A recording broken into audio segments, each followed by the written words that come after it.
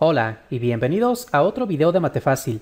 En este video vamos a ver otra de las aplicaciones de las ecuaciones diferenciales que consiste en la descomposición o desintegración radiactiva que va a consistir pues en poder calcular la edad por ejemplo de antiguos fósiles, antiguas rocas o restos orgánicos mediante eh, pues el estudio de la desintegración radiactiva de los elementos. Antes de empezar con el modelo matemático, voy a dar una pequeña explicación de qué es la descomposición o desintegración radiactiva. Hay que recordar que el núcleo de los átomos está compuesto de dos partículas que son los protones y los neutrones. Aquí los protones son los que determinan el tipo de elemento. Por ejemplo, el carbono consta de 6 protones. Sin importar la cantidad de neutrones que tenga, lo importante es que si tiene 6 protones ya es carbono. Si tuviera 7 protones ya es otro elemento, ya es nitrógeno, mientras que con 5 protones se trata del boro. Ahora bien, el carbono puede contener 6 protones y puede contener en algunos casos 6 neutrones, en otros casos 7 neutrones, en otros casos 8 neutrones. Es decir, la cantidad de neutrones puede variar a pesar de que todos los átomos sean del mismo elemento. A eso se le conoce como isótopos del elemento. En el caso del carbono tenemos tres isótopos. Uno de ellos es el carbono 12, que consiste en 6 protones y 6 neutrones. Se le llama carbono 12 porque tiene en total 12 partículas en el núcleo, o sea, 6 protones más 6 neutrones son 12 partículas en total. Esto se abrevia de esta forma. Se pone C, que es el símbolo químico del carbono, se pone el 6, que es un número atómico, o sea, el número de protones, y arriba se pone el 12, que representa el total de las partículas que hay en el núcleo. Entonces, como el 6 ya es de 6 protones, para que sean 12, pues faltan otros 6 que son neutrones. Esto de aquí se abrevia aún más quitando este 6 y dejándolo simplemente así. El 6 en realidad no es tan necesario indicarlo porque como les mencionaba, siempre que sea carbono ya sabemos que tiene 6 protones, así que no hay necesidad de indicar el 6 aquí. Entonces así es como representamos el carbono 12. Otro isótopo es el carbono 13, el cual consta de 6 protones porque se trata del carbono y tiene en este caso 7 neutrones. Se representa entonces así, carbono 13. Y otro isótopo es el carbono 14, el cual consta de 6 protones porque se trata de carbono y 8 neutrones. Y a este isótopo lo representaremos de esta forma. Ahora bien, entre los isótopos de un elemento hay que distinguir dos tipos de isótopos, que son los isótopos estables y los isótopos inestables.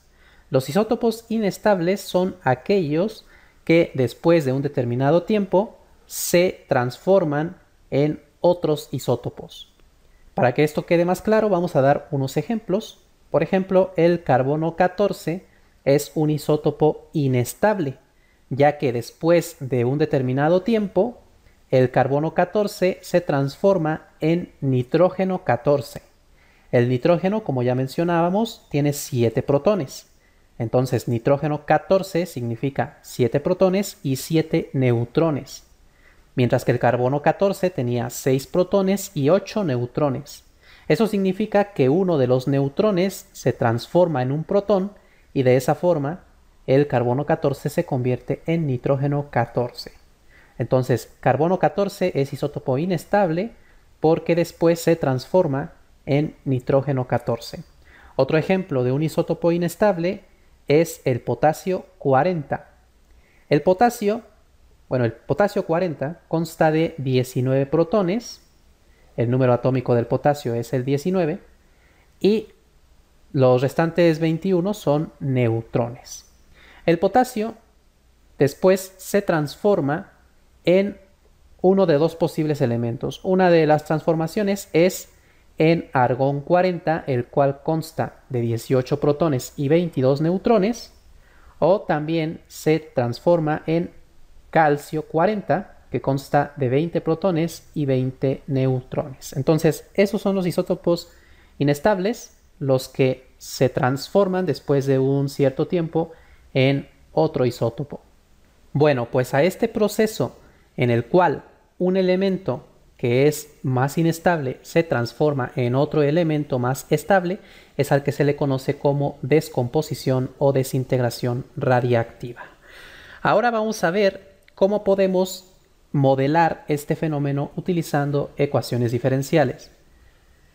Para ello, primero tenemos esta pequeña ley, bueno, que es una observación que se ha visto en todos los, los isótopos inestables, que se ha observado que un porcentaje constante de los átomos radiactivos decaen en cada unidad de tiempo. Para que esto quede más claro, vamos a verlo con el ejemplo del carbono 14. Si nosotros tuviéramos una muestra, por ejemplo, de 100 miligramos de carbono 14, después de 5.730 años, el 50% de esos 100 miligramos decaen en nitrógeno 14. Entonces, cuando han transcurrido 5.730 años, ya nos quedaría únicamente la mitad de los 100 miligramos, es decir, nos quedarían 50 miligramos. Ahora, aquí lo que nosotros podríamos pensar en un primer momento es que si pasaron 5.730 años para que de 100 miligramos pasáramos a 50, al pasar otros 5.730 años, podríamos pensar que estos 50 restantes pues, se convierten en nitrógeno 14 y ya no nos queda nada de carbono 14. Pero en realidad lo que ocurre es esto, un porcentaje constante de los átomos radiactivos decaen en cada unidad de tiempo. Eso significa que cuando pasen otros 5.730 años, el 50% de la cantidad de carbono 14 va a decaer en nitrógeno 14. Es decir, que después de esta cantidad de tiempo, lo que nos va a quedar es el 50% de lo que teníamos, o sea que nos van a quedar 25 miligramos. Después, cuando vuelvan a pasar 5.730 años, nos va a volver a quedar la mitad de lo que teníamos, es decir, que ahora nos quedarían 12.5 miligramos. Como vemos, cada cierto tiempo, cada vez que pasa la misma cantidad de tiempo, un porcentaje constante, en este caso el porcentaje constante es el 50%, es el que va decayendo. Entonces pasamos de 100 a 50 en 5.730 años, luego pasamos de 50 a 25 en otros 5.730 años y luego pasamos de 25 a 12.5 en otros 5.730 años. Este es entonces el principio que nos va a permitir modelar el fenómeno de la descomposición radiactiva.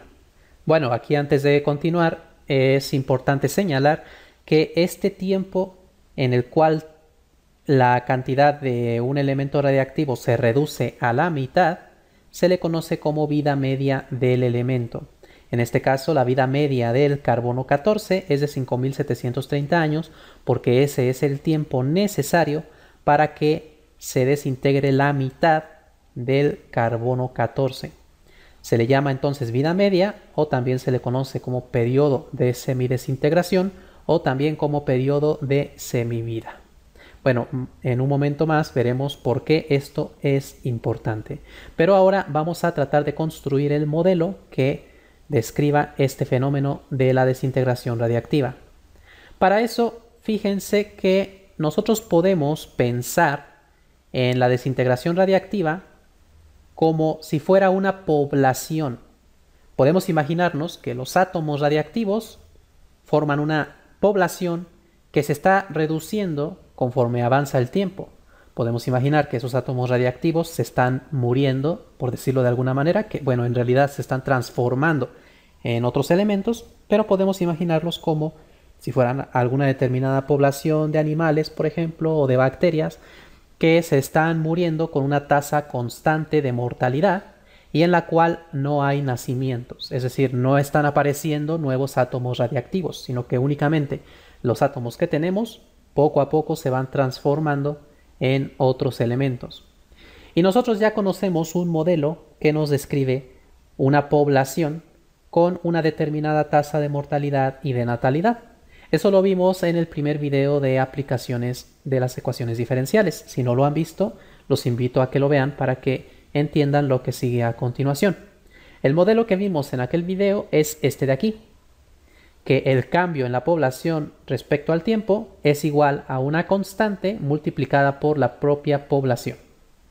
Ahora bien, esta constante k, recordemos que es la diferencia entre la tasa de natalidad y la de mortalidad. Así que en lugar de poner k, podemos ponerla como n menos m, donde n es la tasa de natalidad y m la tasa de mortalidad. Pero en este caso, como estamos diciendo, no hay nacimientos. Por lo tanto, la tasa de natalidad es cero. Así que nos queda esto de aquí. Ahora bien, cuando nosotros hablamos de átomos, lo usual no es utilizar estas variables para representar ese fenómeno. Preferimos utilizar esto de aquí. Vamos a representar con m a la masa del elemento radiactivo en el tiempo t. Con esta notación, en lugar de la p, vamos a poner una m. Entonces tenemos aquí dm respecto de t. Y aquí pues ya no podemos poner esta m que aquí era una constante y que ahora va a ser nuestra variable. Así que en lugar de poner m, vamos a volver a ponerlo como una constante k. En realidad aquí el nombre es lo menos importante para la constante, pero lo usual es ponerle una constante k.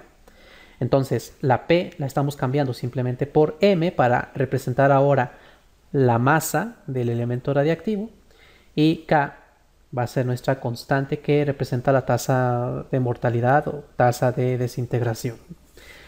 Bueno, así como vimos también en ese video del modelo de población simple, nosotros llegamos a esta ecuación de aquí y lo que hicimos para resolverla pues fue separación de variables. Simplemente esto que tenemos abajo pasa multiplicando al otro lado y se integran a ambos lados de la ecuación. Bueno, pues eso mismo podemos hacer con esta ecuación de aquí. Simplemente este de t pasa al otro lado, quedan separadas las variables. Bueno, esta m también la pasaríamos para acá.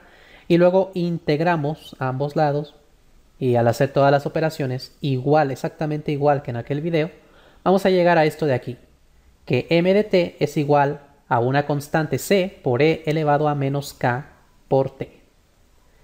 Bueno, aquí esta c, en lugar de ponerla así, conviene utilizar otra notación. Vamos a llamarle m0 a la masa inicial con la que empezamos. En el ejemplo que vimos hace un momento del carbono 14, pues m0 serían los 100 miligramos con los que empezamos, o sea, la masa inicial. Entonces, m0 es la cantidad de masa del elemento radiactivo cuando t es igual a 0 o sea, cuando, empezamos a contar. Entonces, si aquí sustituimos t igual a 0, pues tenemos que m de 0 es igual a c por e a la menos k por 0, pero k por 0 es 0, e elevado a 0 es 1 y c por 1 es c, mientras que m de 0, como acabamos de decir, lo representamos como m sub 0. Entonces ponemos aquí que m sub 0 es igual a c. Entonces ya tenemos otra forma de representar a esta constante. En lugar de ponerla como c, Vamos a ponerla como M0. Este de aquí es entonces nuestro modelo para el decaimiento radiactivo, pero fíjense que aquí depende, bueno, pues de la masa inicial, depende de esta constante K, y esta constante K no es lo más usual al momento de analizar la descomposición radiactiva. En lugar de utilizar la constante K, se prefiere utilizar la vida media del elemento, que es lo que les explicaba hace un momento. Así que vamos a ver cómo podemos hacer eso. Vamos a volver a poner aquí la definición de vida media. La vida media de un elemento es el tiempo necesario para que se desintegre la mitad de los átomos de una muestra. Como vimos en el ejemplo del carbono 14, la vida media era de 5.730 años porque ese era el tiempo necesario para pasar de 100 miligramos a 50 y luego para pasar de 50 a 25 y luego de 25 a 12.5. Es decir, es el tiempo necesario para que se desintegre la mitad de los átomos que tenemos en una muestra. O bueno, la mitad de la masa, que en este caso lo que estamos midiendo es la masa. Entonces, a la vida media le vamos a dar una notación especial. La vamos a representar como T mayúscula. Cada elemento radiactivo tiene su propia vida media. 5730 años es la vida media del carbono 14, pero la vida media, por ejemplo, del potasio 40 ya es otra cantidad. Eso ya lo iremos viendo más adelante con algunos ejercicios que vayamos resolviendo. A la vida media, que representaremos como T mayúscula, generalmente se la mide en años. Entonces, vamos a sustituir esto por acá en nuestro, en nuestro modelo que obtuvimos. Primero, cuando han transcurrido T mayúscula años, nosotros para calcular cuánta masa tenemos, pues lo que hacemos es sustituir aquí el valor de T mayúscula. Es decir, en lugar de la T minúscula ponemos T mayúscula, simplemente estamos sustituyendo ese valor aquí. Ese valor recuerden que ya lo conocemos, depende de cada átomo radiactivo, pero es una constante, es un valor que ya conocemos. Entonces al sustituirlo obtenemos esta expresión. Pero por definición, esta T es el tiempo necesario para que se desintegre la mitad de la muestra con la que empezamos. La muestra con la que empezamos es M0, entonces, cuando ha transcurrido este tiempo, nosotros sabemos cuánta masa del material radiactivo nos queda. Nos queda la mitad, porque ya se desintegró la otra mitad. Es decir, que esto de aquí lo podemos igualar a un medio de M0, que es lo que nos está quedando. Cuando ha transcurrido este tiempo, nos queda la mitad de la masa inicial. Bueno, pues de esto de aquí, formamos ahora una ecuación en la cual podemos despejar esta constante K. Este M0 vamos a pasarlo dividiendo. Luego M0 entre M0 da 1, 1 por un medio queda un medio. Luego la exponencial la quitamos pasándola como logaritmo natural. Ahora aquí podemos aplicar una propiedad de logaritmo natural. Tenemos logaritmo de una división. Se separa como una resta de logaritmos. Tenemos ahora logaritmo de 1 menos logaritmo de 2. Y esta t mayúscula, que es una constante, simplemente la pasamos dividiendo. Ahora, el logaritmo natural de 1 recuerden que es 0, así que nos queda simplemente menos logaritmo de 2 sobre t. Y ahora si multiplicamos toda la ecuación por el signo menos, aquí ya nos queda todo positivo y nos queda que k es igual al logaritmo natural de 2 sobre t mayúscula. Entonces, en lugar de utilizar esta k, podemos sustituir esto aquí y nos queda entonces este modelo en este modelo ya no tenemos esa constante K, sino que ahora lo que tenemos es precisamente la vida media del elemento. Aquí lo que podemos hacer también es multiplicar por esta t minúscula, simplemente multiplicaríamos t por logaritmo de 2, entonces nos queda menos t logaritmo de 2 sobre t mayúscula. Este va a ser el modelo que vamos a utilizar siempre que conozcamos la vida media de un elemento. Bueno, todo esto de aquí entonces fue simplemente desarrollar el modelo que estaremos utilizando, que es este de aquí. Y en el siguiente video vamos a ver ya un ejemplo. Vamos a ver cómo resolver este de aquí. Se nos dice que si la cantidad de carbono 14 contenido en un cráneo antiguo es un sexto del carbono 14 que tenía al momento de morir, ¿cuál es la edad del cráneo? Bueno, pues con lo, que hemos visto en este video ya podemos resolver este ejercicio. Así que los invito a que miren el siguiente video para que vean cómo es que se resuelve. Si te gustó este video, apóyame regalándome un like, suscríbete a mi canal y comparte mis videos. Y recuerda que si tienes cualquier pregunta o sugerencia, puedes dejarla en los comentarios.